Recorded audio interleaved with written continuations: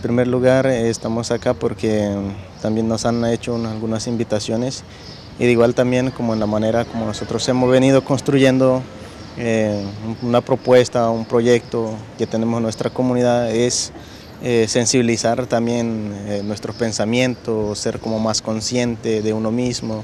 Entonces a través de este mensaje se traen muchas informaciones que tiene que ver como desde la parte espiritual, que, que nos reconozcamos nosotros mismos entonces, como pueblos originarios, también sabemos de que en estas zonas, por estos lados, también habitaron muchos pueblos indígenas. Entonces, también de mirar como, mucho en nuestro origen. Entonces, venimos de igual eh, como poder compartir eh, este mensaje con nuestros hermanos. ¿Cómo ven ustedes la situación? ¿Cuáles son los desafíos o las deudas?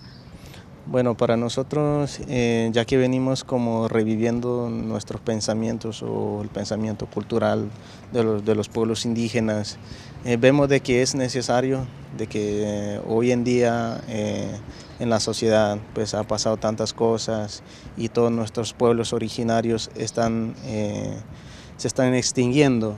Entonces necesitamos de que esa historia de origen vuelva a revivir para que la madre tierra, como nosotros consideramos como una madre, no pueda eh, ser o no hayan sido maltratados por, por nuestros hermanos.